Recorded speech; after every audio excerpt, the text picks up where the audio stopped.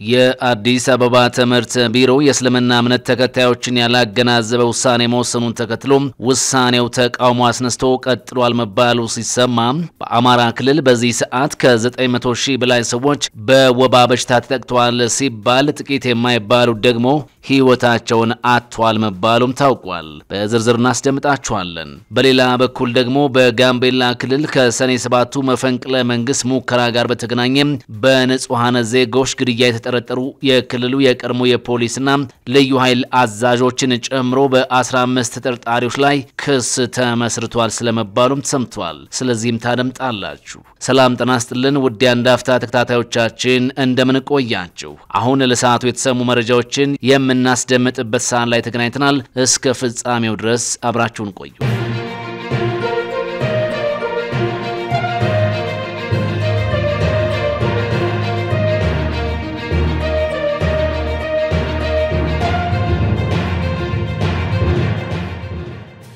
የአዲስ አበባ ትምህርት ቢሮ የእስልምና እምነት ተከታዮችን ያላገናዘበ ውሳኔ መወሰኑን ተከትሎ ውሳኔው ተቃውሞ አስነስቶ ቀጥሏል እየተባለ ነው። ቢሮው ትላንትና በኢድ አላድሃ በዓል ዕለት ሊካሄድ የጊዜ ሰሌዳ የተቀመጠለት የስምንተኛ ክፍል ፈተናን በሚመለከት ያሳለፈው ውሳኔ ነው ተቃውሞ ያስከትለው። የአዲስ አበባ ከተማ አስተዳደር ትምህርት ቢሮ በሰኔ ወር መገባደጃ በእስልምና ሃይማኖት ተከታዮች በሚከበረው የኢድ አላድሃ በዓል ዕለት አካሄዳለሁ ያለው የስምንተኛ ክፍል ከተማ አቀፍ ፈተና ተቃውሞ ገጥሞታል። ትምህርት ቢሮው ከሰሞኑ ይፋ ባደረገው እቅድ መሰረት ፈተናውን እሰጣለሁ ያለው ሰኔ 19ና 20 2015 ዓ ም ነው። ሆኖም የአዲስ አበባ እስልምና ጉዳዮች ጠቅላይ ምክር ቤት ትላንት ረቡዕ ግንቦት ሁለት በጻፈው ደብዳቤ ቢሮ ባወጣው የጊዜ ሰሌዳ የ2015 የአረፋና የኢድ አላድሃ በዓላት እንደሚከበር በመግለጽ በዚህ ቀን ፈተና መስጠት አግባብነት የሌለውና ተማሪዎች ተረጋግተው ፈተና ላይ እንዳይቀመጡ የሚያደርግ ተግባር ነው በማለት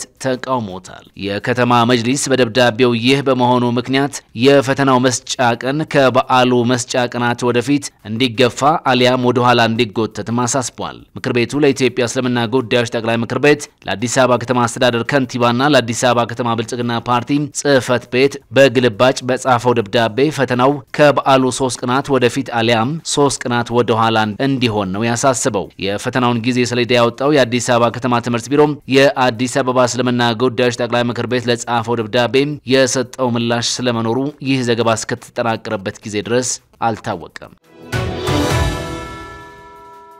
ወደ ሌላኛው መረጃችን ስንሻገር በፖለቲካዊ ትኩሳት እየተናጠ ረፍት ያጣው የአማራው መንደር በሕክምና እጦት ምክንያት ሰዎች በአስከፊ ሁኔታ እየሞቱ እንደሆነ ሲገለጽ አንድ ሚሊዮን የሚደርሱት ደግሞ በበሽታው ተጠቅተው ይገኛሉ ተብሏል። በቅርብ ጊዜ ውስጥም አስቸኳይ የሕክምና እርዳታ የማይደረግላቸው ከሆነ በርካቶች ሕይወታቸውን ሊያጡ እንደሚችሉ እየተነገረ ይገኛል። በርካቶች አሁን ወደ ክልሉ የሚተኮሱ መሳሪያዎችን ለመግዛት የሚፈሰውን ገንዘብ በማስቀረት ለእነዚህ ዜጎች መድኃኒት ይሸመት እያሉም ተማጽኗቸውን እያቀረቡ ነው። አንድ ጊዜ የልዩ ኃይልን ለማስፈታት፣ ሌላ ጊዜ ደግሞ ጽንፈኛ የተባሉ ታጣቂዎችን ለመያዝ በሚል ዘመቻም ሰላሙን ያጣው ይሄው ክልል ዛሬም ሰዎች በወባ በሽታ ምክንያት እየሞቱ ነው ተብሏል። በክልሉ ከጊዜ ወደ ጊዜ እየጨመረ የመጣው የወባ በሽታ እስካሁን የ24 ሰዎች ሕይወት መቅጠፉንም ተሰምቷል። በአማራ ክልል ባሳለፍነው በጀት ዓመት 400 ሺህ ሰዎች በወባ የተጠቁ ሲሆን በያዝነው በጀት ዓመት ደግሞ 900 ሺህ ሰዎች በወባ በሽታ ተይዘዋል ተብሏል።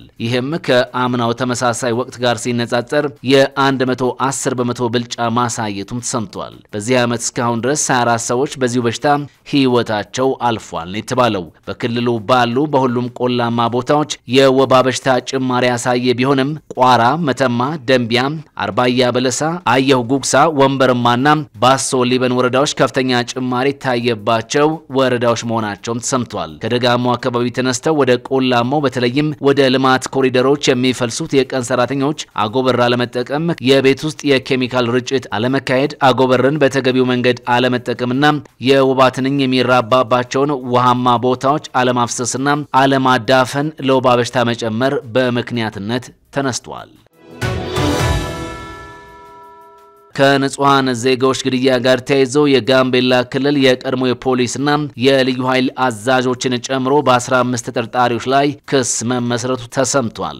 ክሱ የተመሰረተው በጋምቤላ ክልል ተፈጽሟል ከተባለ የንጹሐን ዜጎች ግድያ ጋር ተያይዘው በተጠረጠሩ የጋምቤላ ክልል የቀድሞ የፖሊስ ኮሚሽነሮችና የልዩ ኃይል አዛዦችን ጨምሮ በ15 ተጠርጣሪዎች ላይ እንደሆነም ተሰምቷል። ክሱ የተመሰረተው በፌዴራል ከፍተኛ ፍርድ ቤት ልደታ ምድብ አንደኛ የጸረ ሽብርና ህገ መንግስታዊ ጉዳዮች ወንጀል ችሎት ነው። ክሱ የተመሰረተው ተጠርጣሪዎች የቀድሞ የጋምቤላ ክልል ፖሊስ ኮሚሽን ዋና ኮሚሽነር ኦቡላ ኦባንግ፣ ምክትል ኮሚሽነር ቱት ኮር፣ የክልሉ የልዩ ኃይል ዋና ኢንስፔክተር ኮንግ ሪክ እና የክልሉ ልዩ ኃይል ምክትል አዛዥ የነበሩት ዋና ኢንስፔክተር ኡጂዲ ባሬን እና የተለያዩ የጸጥታ አባላትን ጨምሮ በአጠቃላይ 15 ተጠርጣሪዎች ላይ ነው። ሰኔ 7 ቀን 2014 ዓ.ም የሸኔ ሽብር ቡድንና የጋምቤላ ነጻነት አውጪ ፓርቲ በጋራ በመሆን በጋምቤላ ከተማ በቀበሌ 3 በኩል በመግባት በፌዴራል ፖሊስ ካምፕና በክልል ልዩ ኃይል እንዲሁም በሌሎች ጸጥታ አካላት ላይ ድንገተኛ ጥቃት በተከፈተበት ወቅት በጸጥታ ኃይሎች የሽብር ቡድኑ ወደ መጣበት እንዲመለስ መደረጉም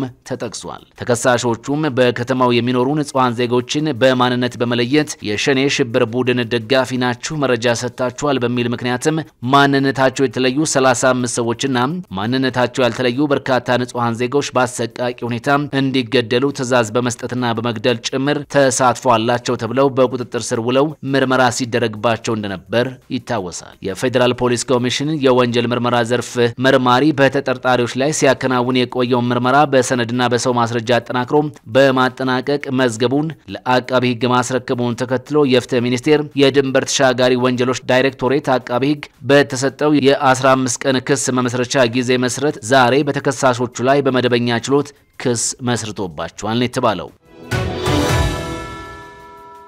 ወደ መጨረሻው መረጃችን ስንሻገር የሱዳን ተፋላሚ ኃይላት በቅርቡ የተኩስ አቁም ስምምነት ላይ እንደሚደርሱ እየተነገረ ነው። ጂዳ ሳውዲ አረቢያ ውስጥ የሚነጋገሩት የሱዳን ተፋላሚ ኃይላት የተኩስ አቁም ስምምነት ላይ ለመድረስ መቃረባቸው ዛሬ ተሰምቷል። የሱዳን ጦር ሰራዊትና የፈጥኖ ድራሹ ኃይል የተኩስ አቁምና የሰብአዊ እርዳታ አቅርቦት ስምምነት ላይ ለመድረስ ካሳለፈው ሳምንት መጨረሻ አንስቶ እየተነጋገሩ ቢሆንም እስከ ትላንት ድረስ የተጨበጠ ውጤት ላይ አለመድረሳቸው ሲነገርም ቆይቷል። ሆኖም አንድ ሸምጋይን ጠቅሶ ሮይተርስ የዜና ወኪል እንደዘገበው የሁለቱ ወገኖች ድርድር ውጤት እያሳየ ነው፣ በቅርቡም የተኩስ አቁም ስምምነት ላይ ይደርሳሉ ተብሎ ይጠበቃል ብለዋል። ሌላ ምንጭም ስምምነት ላይ ለመድረስ መቃረባቸውን አረጋግጠውልኛል ሲል ሮይተርስ ዘግቧል። ንግግሩ ትላንት ሌሊትም ቀጥሎ እንደነበርም ገልጸዋል። የተከበራችሁ የአንድ አፍታ ተከታታዮቻችን ለሰዓቱ የተዘጋጁ መረጃዎቻችን በዚሁ ተጠናቀዋል። አብራችሁን ስለነበራችሁ ከልብ እናመሰግናለን። በያላችሁበት ሰናይ ጊዜ